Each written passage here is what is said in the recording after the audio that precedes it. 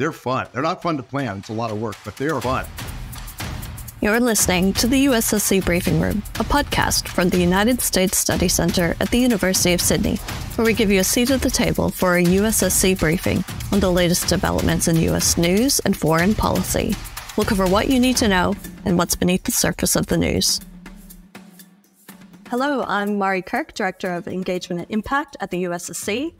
Before we begin, I'd like to acknowledge the traditional owners of the land we're recording on today. The University of Sydney is located on the land of the Gadigal people of the Eora Nation, and I pay my respect to their elders, past, present, and future. Next week, Australian Prime Minister Anthony Albanese is travelling to the United States for an official visit, including a state dinner.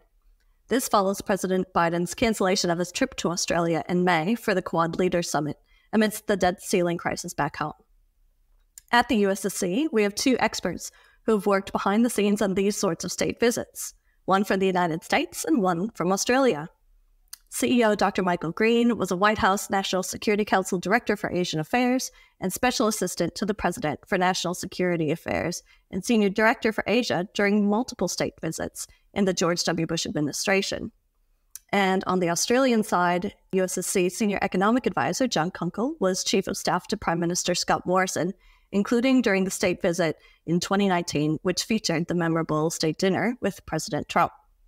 Their inside perspectives can give us a better understanding of what goes on behind the scenes for these sorts of high profile visits. What's really at stake? What sort of roles do these visits play?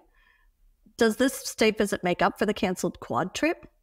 Uh, but before we dive into those questions, I wanted to flag that at the end of the episode, we'll get our by the numbers fact from both Mike and John. Are you guys good to go on that? You can count on us. Sounds good. So, I guess just to kick off, I would love to hear your perspectives from the US side, from the Australian side, on the purpose of state visits, such as the trip that Prime Minister Albanese is making to the US next week. What are the expectations, and do these visits actually live up to them? Well, I've I've um, I've, I've uh, planned and um, and much more enjoyably participated in state dinners and state visits, and it's where the um, President of the United States, the White House staff pull out all the stops for the president's most important partners that year, and there are only a handful a year for most presidents because they're all consuming and they're special. And um, it, it's really a lot of pump and circumstance. We could talk about that in more detail, but it, they're fun. They're not fun to plan. It's a lot of work, but they are fun. I don't know. I think democracies maybe do pump and circumstance better because it's so rare. It's not a regular part of of a democratic society or a democratic form of government. Public doesn't want their tax dollars spent on that often. So when they do it, it's very exciting. What do they get out of it? Um, these are decisions that are sometimes um, put forward by the president or the first lady who says, Boy, I really like John Howard. Let's do a state visit. It could be that simple. Yeah, um, I really like that guy or that woman, and and and it sometimes is uh, to say thanks. We went through a lot together. We want you to get a political boost. We want to showcase the relationship. Sometimes it's because a relationship is at a critical juncture. Uh, we really, really need you, and we want you to get as much face and support and world press attention as we can to help you make this tough decision for the alliance. Sometimes it's a sorry about that date night. Is that the case here? Well, that was the case with Macron. The French president got a state visit, and it, it's it's not because of this um, deep and abiding American love for France. It's because of AUKUS. We, we talk about. Um, uh, the French whinged a lot about that one and got a state visit. Um, in the case of Albo, and then I'd be interested in John's experience and his views, but in the case of the Albanese visit, it's a combination of things. Um, uh, it, it is all of the above in a way. Um, by all accounts, Biden and Albo get on well, um, and, he, and, and President Biden likes uh, the prime minister. Um, it, it is to say thank you. Um, AUKUS um, is a big, big deal, and it's also to give a boost, and particularly at a critical juncture in AUKUS, the legislation in the Congress um, uh, they knew that legislation would be coming to a head in the Congress on relaxing export controls for ITAR, approving nuclear submarine uh, technology transfer, all these other bits. They wanted to boost that. They knew Australia had some big budget and other decisions.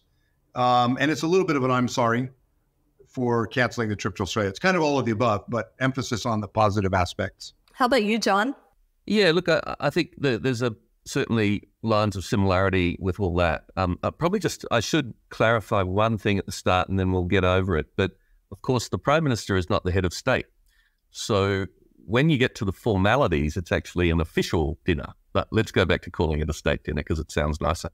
Um, I think in terms of the the purpose, it is to really afford a degree of status to a particular leader or partner country. Um, and each each visit will be different and reflect a lot of things: the state of the bilateral relationship, what's happening in the world at that time, whether one side or the other has a particular ask. Um, so all these things can sort of colour whether it's you know largely just a um, happy event or whether there's sort of complex behind the scenes elements that mean it, it's perhaps not so, or perhaps even awkward in, in some ways. But in general, look, they, they are very positive in terms of relationships.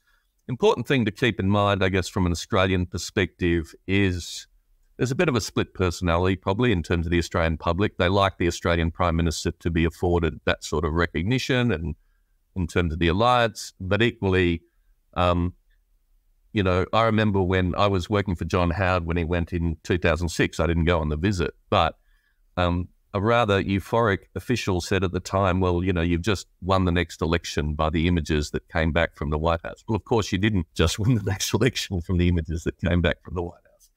So, um, I think in case of Prime Minister Albanese, um, you know, he'll have elements of political advisors, hardheads, sort of saying, "That's all great, it's wonderful." But we can't get too carried away because there's a cost of living issues and there's all these things. So, um, look, I, I think it'll be a, a, very a very good visit, very timely visit uh, for for the prime minister and the president. Um, but I sort of come back to the world's in a pretty um, difficult spot as well, and particularly for the U.S. president. You know that he'll have a lot of things on his mind. I think, as apart from the Australian relationship. Yeah, I mean that's a really good point because it's always these things happen they're a snapshot in time, but it's in the context of everything else that's going on. I mean, and that is what happened with the quad visit as well. There were other factors that, you know, played into what happened there. Um, and obviously, I know, Mike, you've touched on this that there's a lot of prep work that goes into these visits. I'm keen to get a better picture of who works on these things behind the scenes, kind of which parts of government feed into it what is locked in before the visit versus are there any things in terms of you know discussions or major points that kind of happen in the moment or during the visit. And from each of you i'd love to know how it touched on your role. So like when you worked for the white house um, john kind of your experience as well. Yeah the preparation is massive. I was the, uh, uh, the director so a member of the staff and then the senior director the top special assistant to the president for the indo-pacific. In both those roles as the director, I planned but didn't get to go to the fancy state dinner. As a senior director, I planned and got to go to the fancy state dinner. Um, but it's a huge amount of work. Um, the first stage is deciding who to invite. And um, not surprisingly, all the regional senior directors in the White House. And in general, State Department has much less of a voice in this. It tends to be the NSC. Um, and you know the the senior directors for Africa or Europe or Asia all make their make their case for their favorite or most important or most um, needed leader to be invited. So that process is a policy process, but there are important domestic political considerations. So Karl Rove, the senior domestic political advisor to the president, would weigh in and consider things like, uh, and I imagine it's not so different in Australia, the Indian diaspora. We really need to reach out to the Indian diaspora. Let's get the Indian prime minister. Or um, uh, you know, our polls show that um, uh, swing voters, independent voters really like it when we have a state visit with a leader who is a good economic partner.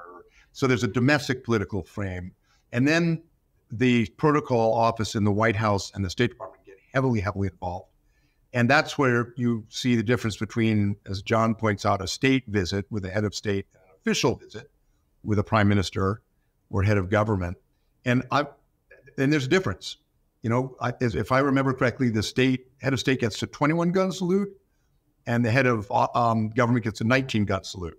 and you you know, and and, and the policy guys like me don't know that. So there are protocol officers in every country who are good at that. But then there's the military office and the Secret Service, because as you can imagine, the security around these is massive. The the the, the White House spokesman and uh, woman and the communications uh, office. Uh, what's the narrative? What's the message? What are we about with the press?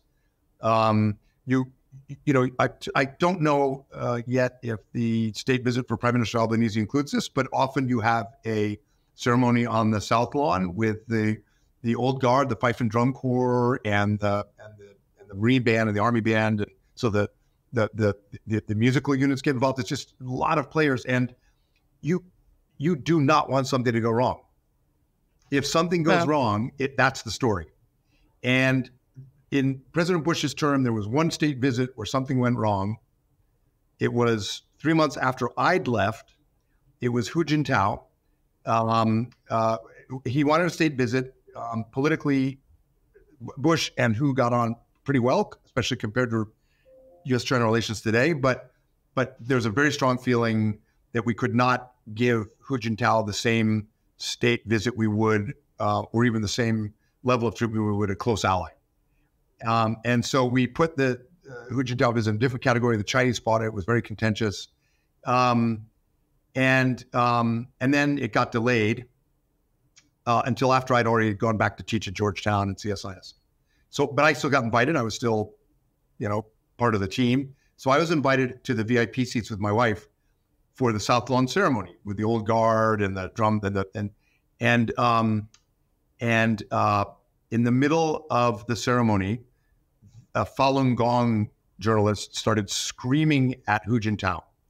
And there was this gasp that all the cameras, all the TV cameras turned away from Bush and Hu and onto the screaming Falun Gong protester. Uh, a few other things went wrong. Um, the a military announcer who says, "Ladies and gentlemen, the president of the that guy," he he introduced Hu Jintao as the president of the Republic of China. So this almost never happens. It almost never happens. It happened in that case because the Chinese side was being so difficult over every little detail and changing things and and it was deeply, deeply embarrassing. And I and I turned to my wife at, at the beginning and I said, Man, I miss this. I really miss this. The pomp, the circumstance, the fife and drums, the cabinet all there. And then right at that moment, the Falun Gong protester started screaming and she said, Do you really miss it? and my poor successor was pilloried in the press, almost lost, it wasn't his fault, almost lost his job. So, look, sorry for the long wow. answer, but huge amounts of work. But a lot of that is the president, the prime minister cannot afford for anything to go wrong because that becomes the story. I'm sure John never yeah, had mistakes, I mean, that's a- ever.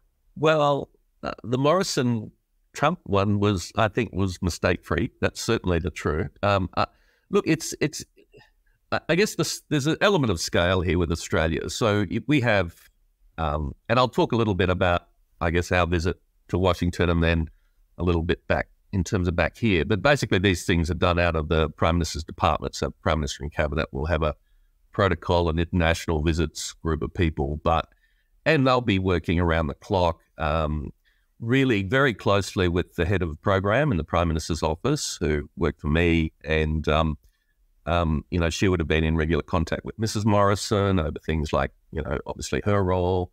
Um, and then in terms of the, I guess, the broader architecture around the visit, the international group of Prime Minister's Department and our ambassador in Washington and his team. So that that's probably the core, um, as along with the, the Prime Minister's office. So um, everyone, I mean, in terms of visiting Washington, though, it's essentially all the work's done over there um, in terms of the actual day and the, the pomp and ceremony and everything like that. So we just really turned up. Um, my hardest job was to navigate with my own staff who would get to go. Because oh. if ever there's, I mean, I think we took about only about eight people from the Prime Minister's office, and some of them obviously select themselves in terms of the, the foreign policy advisor and the head of media and things like that.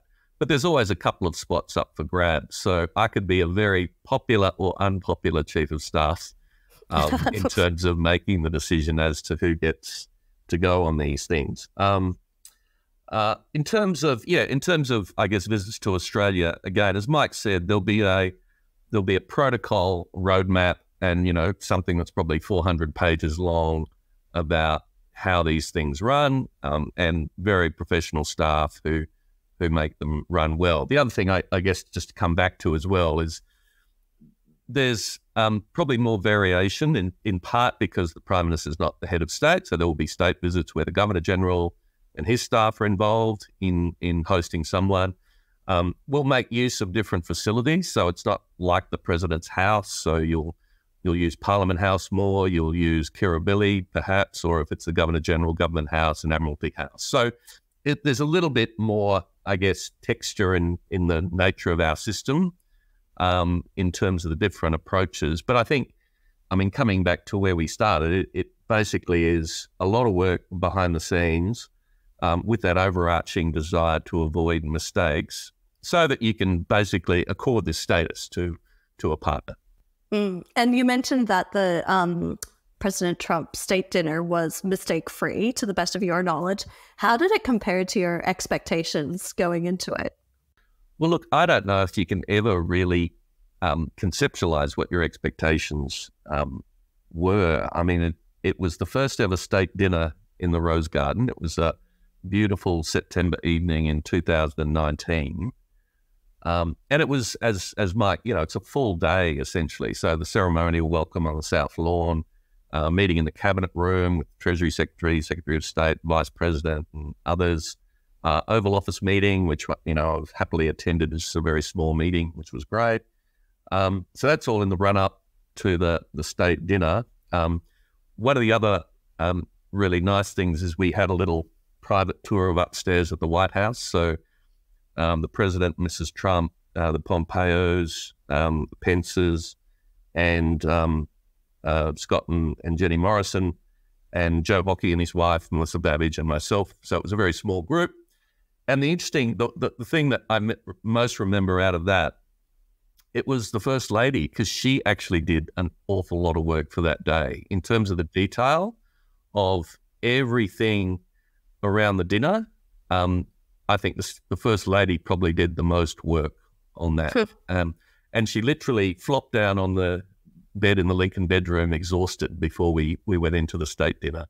Um, we, uh, the only other thing I remember is we were all we, we spent most of the time President Trump um, quizzing us about wildlife in Australia. So we all had there's crocodile stories and snake stories ready to go. But the event was amazing.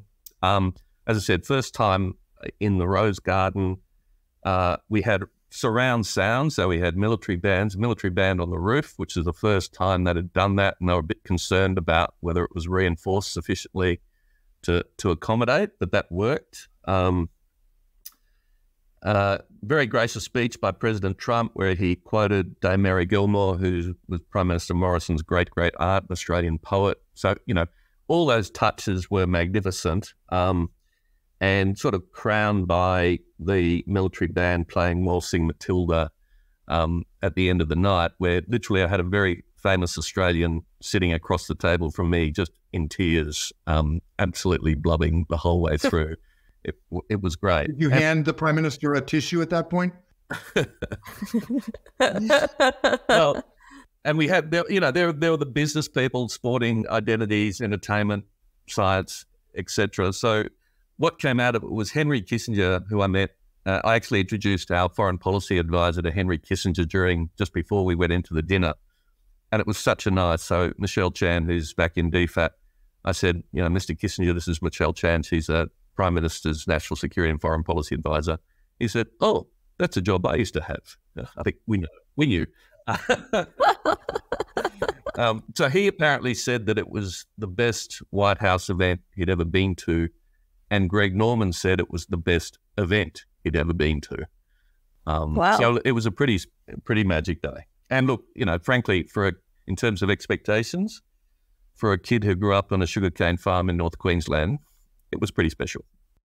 Wow. I mean, you've sold me. This just, it sounds amazing. And I'm looking forward to seeing what um, tone this state dinner takes, because obviously it'll be different. We have a different president and a different prime minister. Um, and I think you've made the case really well for the unique role that they play in terms of what maybe is achieved through these sorts of visits as opposed to what happens on the sidelines of summits and things. So I'd like to pivot to think about this upcoming state dinner in particular. So President Biden had to cancel on the Quad summit that was supposed to be hosted in Sydney earlier this year. So this visit that's coming up is, you know, partially as you touched on, Mike, to make up for that slight, but it's a whole lot more than that. So I guess what does the Albanese administration gain from this visit that they wouldn't have otherwise had in terms of host the benefits that come from hosting the Quad summit? What would they are they maybe missing out on because they didn't host it? And I guess what do you really think they should be focused on walking into this big trip that's coming up well, next week? Um, what Prime Minister Albanese and the Australian participants will get um, is the the glow and the buzz that John just described. It's it is a very very powerful um, uh, moment and a very powerful thing to go to the White House. It's so iconic. Um, in my time there, I escorted more than one person who was telling me on the way in to the Oval Office that they were going to give President Bush advice or a piece of their mind, and then inevitably they go in, they look around the White House, they look around the Oval Office. There's an aura that's quite uh, powerful, and so the whole glow and buzz is is a, is a good thing. Um, the prime minister will also get um, the attention of the U.S. press corps and the U.S. Congress and the administration for a day or two, which in a very um, busy global foreign policy agenda is something, let alone in the sort of larger uh, political and social and cultural discourse in America to actually like be one of the leads in national news for a day for a for a leader of a country is a big big deal. That's why people are so nervous about something going wrong because you want the stories to be good. Um, it's something of an action forcing event as well um, because there's such a buzz, such a glow. My guess is for this one, the two issues in particular where uh, the president, the prime minister, and their staffs want to use the visit to move the agenda would be first AUKUS. Um, because right now in Congress, some critical pieces of legislation um, uh, are um, are are being debated to transfer the nuclear propulsion uh, technology for the submarines in AUKUS Pillar One, and also to relax export controls, ITAR, and so forth for AUKUS Pillar One and Two for technology collaboration. They're not done yet in the Congress. That was a uh, always, I'm sure, a big focus for the two governments. The one problem there is that because there's no Speaker of the House, because the House is in in a in a bit of turmoil, the legislation is not moving, and so that opportunity is a little bit now lost. Um, uh, but the other one is the clean energy transition and the climate compact, the third pillar of the alliance, as uh, the two governments are talking about it. Um, John knows a lot about this, but the um, Inflation Reduction Act in the U.S. industrial policy spending is um, attractive to some parts of the Australian government, terrifying to other parts because it's very market distorting. And um, the U.S., uh, the Biden administration's approach is meant to be friendly to allies like Australia, but that's not what they wake up thinking about every day. They wake up every day thinking about how to get jobs for Americans and how to get climate action. And then, oh, by the way, allies. So, a big thing for the prime minister is going to be putting Australia and allies more generally back at the top of that list. Those would be two big ones um, which would be policy outcomes they care about. One that they did not probably expect to be talking about, where they'll get a lot of questions, I think, will be Hamas, the Middle East. Um, and my guess is, uh, John, tell me if you think I'm wrong. The U.S. press has generally been pretty favorable to the Biden administration's handling of this, but the Australian press, and not just on the right, has been pretty critical of the Albanese government. So I think, in the eyes of the world, uh, you know, the prime minister is going to want to be ready to answer the Hamas question and address that in a way that shows Australia's on the right side of history. And, you know, it's been a bit of a mixed message uh, coming out of, the, out of the government. So that'll be one that comes up. And who knows what else comes up? The Taiwan election isn't that far off. Things come up. You have to be ready. Yeah, look, I agree with Mike. I think my, our notes are probably almost pretty similar in terms of issues. Um, I think certainly for a Labor Prime Minister, demonstrating and having that demonstration effect of showing the alliance is in safe hands always is pretty valuable. Um, and that'll be, you know, I think uppermost one of the things that that um, certainly Prime Minister Albanese, Albanese's team will be seeking to demonstrate. Um, and as Mike said, I think the the so-called third pillar of the alliance around energy and climate change, and and the next, if you like, layer of um, cooperative initiatives, as well as um, how Australia is to some extent able to take advantage of the US action, but also uh, ensure that we're not sort of losing out in terms of um, investment in some of these things as well. So I guess what the Prime Minister will be looking at is the specifics in terms of how the, Ameri- the American, how the Biden administration is accommodating its allies and partners in the uh, Inflation Reduction Act and other things.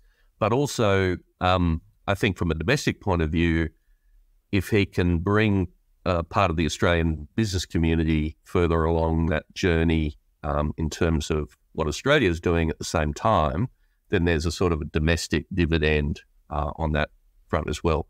Um, uh, I mean, Mike's the, the geopolitics expert, but I, I agree that some of the um, images out of Sydney in the, the last little while um, that have gone around the world um, probably concerning a lot of people in our country, but also overseas. So I think it'll be a uh, the Middle East will be a topic that will inevitably, where issues of tone and substance will be very important. Yeah, and I think I mean you've both touched on this, but there's you know so much changing at the moment um, with the horrific attacks in Israel, but also timing wise. I mean, there's looming winter and changing weather in Europe, which may lead to a breaking point in the war in Ukraine. Um, and obviously, the United States is undergoing its own political tumult with the ousting of the speaker, and we'll see how that turns out. But I guess I'd be keen to know you've talked a little bit about what both countries can seek to gain from this visit, but what can like I guess what could get impacted by these geostrategic circumstances, or either in terms of getting derailed, or would that become is that white noise and these things around AUKUS and the you know third pillar of the alliance? Can that get traction in the midst of these other really urgent things happening at the moment? Most of the U.S. press corps doesn't care about AUKUS, so they're going to look to shoehorn some other story into this. Could be the Middle East, could be the U.S. election, and uh, the Australian press corps, and I'm thinking about the Rose Garden press ceremony, which I assume they'll have. You know, there'll be one or two Australian, one or two American questions, and history suggests that most of them will not be on the themes that the president and prime minister would like to convey to the public. They'll try to shoehorn other narratives and stories. So we talked about the Middle East. That'd be one. You mentioned Ukraine, and you're right. Um, I could imagine um, uh, and this is the unscripted part uh, that the leaders have to be ready for. So I could imagine a question. Uh, and by the way, it's the reason why uh, the Chinese and Russians don't get questions. but I could imagine uh, a question about um, the Congress if there isn't a speaker. I could imagine the prime minister suddenly being asked, "Are you worried about American politics?" Um, I could imagine the prime minister being asked about a Trump presidency. If I were a mischief-making Australian journalist, but I repeat myself, I would, uh, I would probably ask that question, see what reaction I got. Um, and frankly, um, I could see a question about the voice.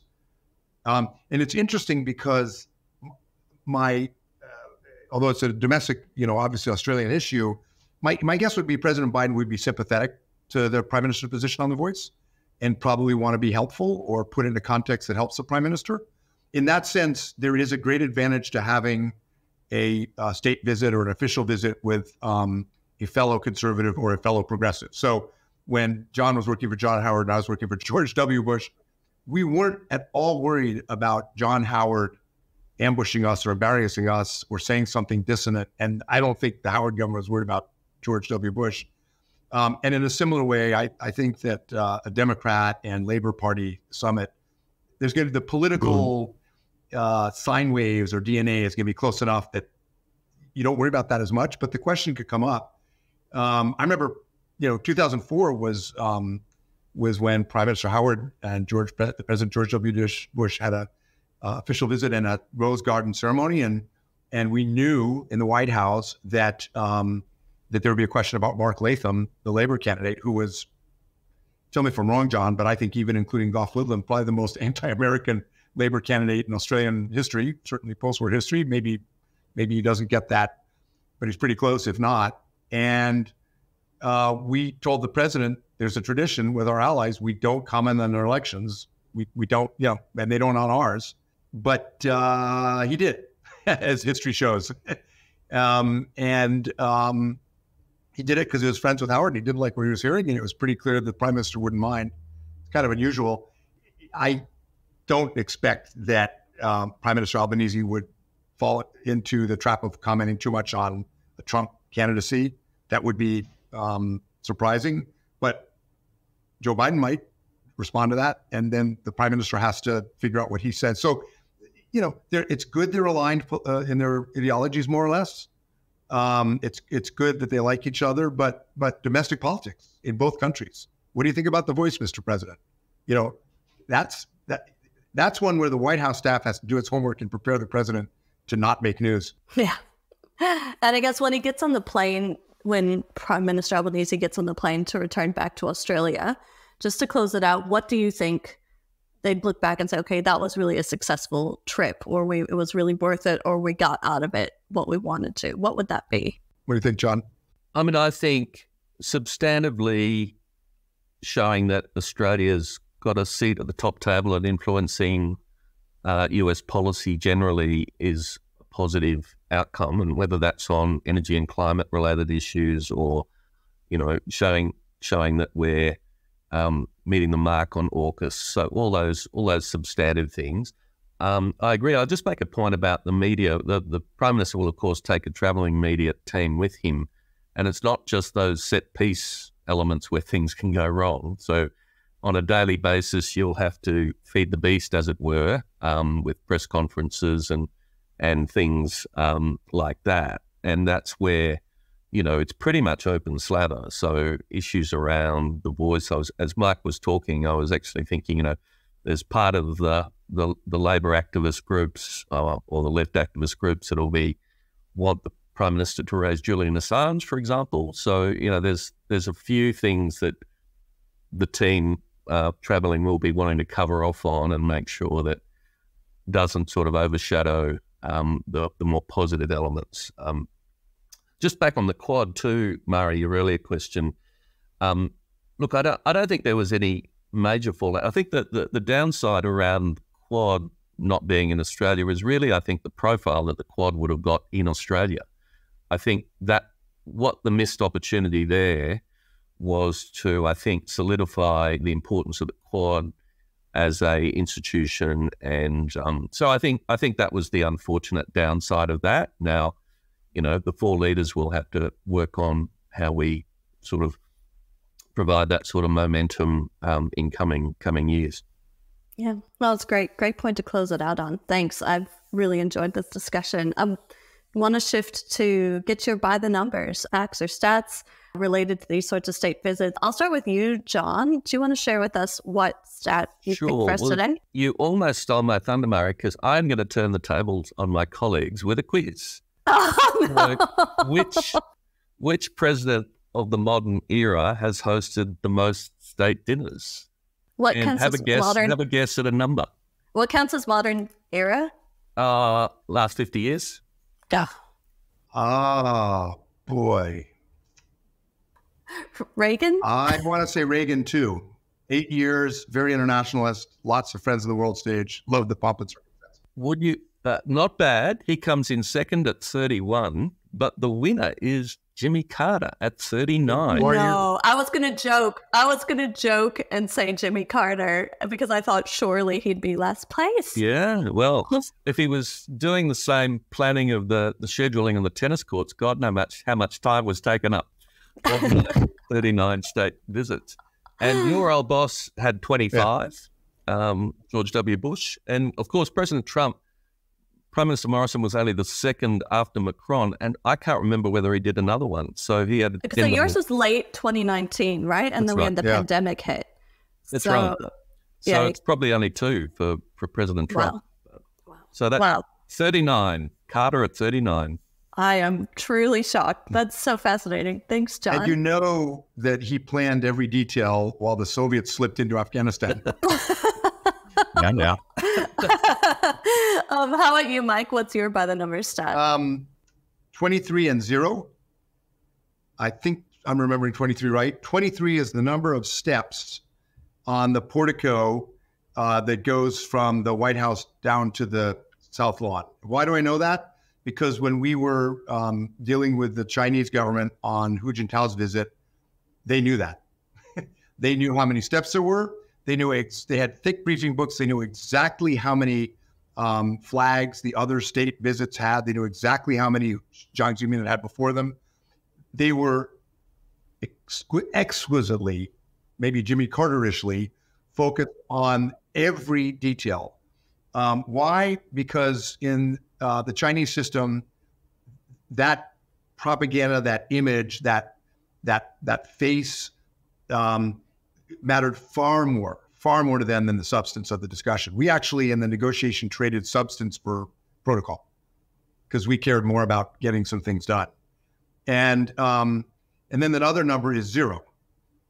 That's the number of DFAT officials who know who knew how many steps were on, on the court when we were preparing for the John Howard visit. Maybe John Kunkel knew the number, but um, uh, why? Because they didn't care. They didn't right. care. Uh, they didn't.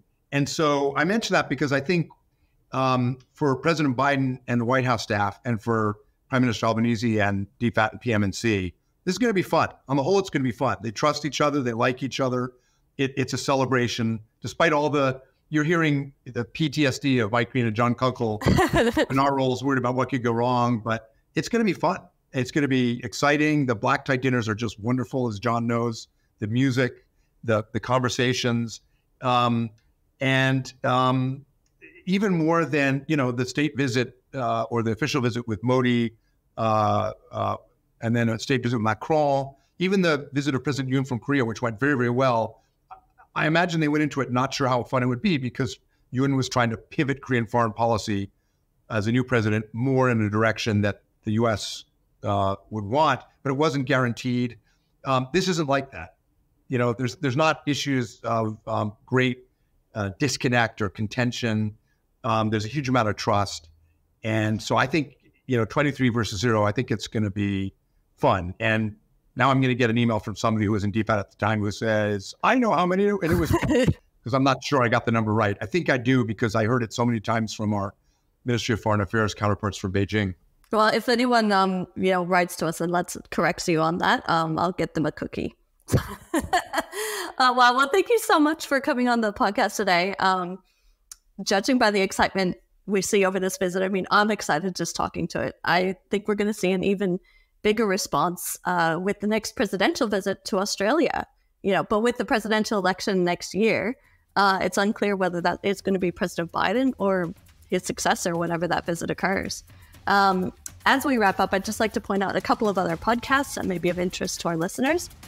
Dr. Michael Green is co host of the Asia Chessboard podcast with Jude Blanchette, the Freeman Chair for China Studies at the Center for Strategic and International Studies, I'd also recommend checking out the USSC Live podcast series that runs recordings from our major live events, and recent episodes include a breakdown of the GOP candidate presidential debate and a readout from White House National Security Council staff Kurt Campbell, Edgar Kagan, and Mira Rapp Hooper.